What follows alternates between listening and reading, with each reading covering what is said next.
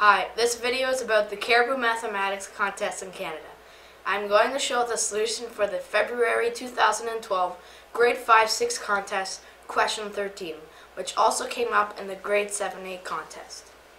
So, the question is, which family could have the most children? A family where A. Each of five brothers has one sister. So if there's only one sister, so one girl, and there are five boys, that means there are six children in this family. So A is six.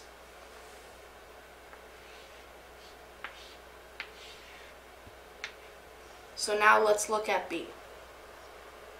Each brother has three sisters, and each sister has three brothers. So if there are three sisters and three brothers, so three girls and three boys, that means there are six children again in this family, so that means B is six.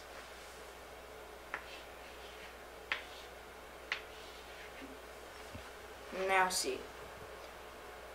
There are seven children, so C is seven. Okay, now D. There are four more boys than girls, and not more than two girls. So we would pick the maximum number of girls, which is two. And if there are four more boys than girls, so that means there are six boys and two girls, which means there are eight children in this family. So that means D is eight.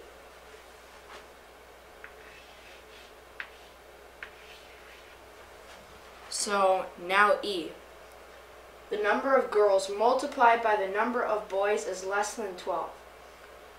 So the product would have to be, the product of the boys and the girls would have to be 11 or less. So let's use 11 as an example.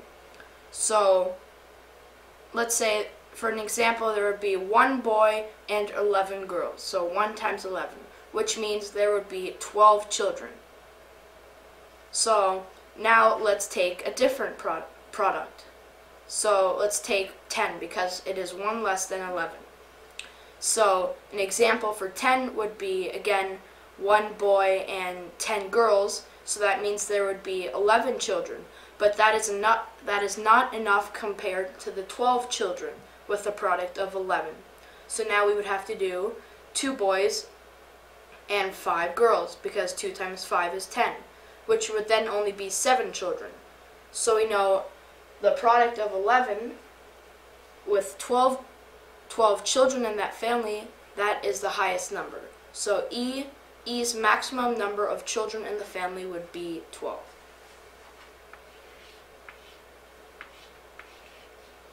And now F.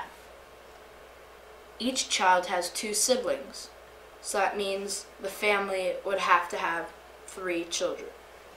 So F is 3. And now the last one, G.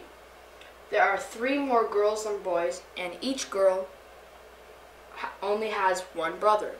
So if there's only one brother, which means there's one boy, and there are three more girls than boys, which means there has to be four girls and one boy, which means four plus one is five. So there are five children in this family, which means G is five.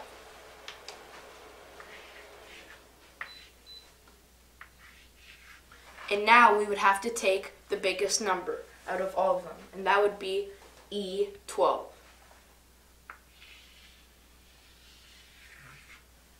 So the answer is E. If you'd like to know more about this contest, please feel free to visit our website at www.brockU.ca slash caribou.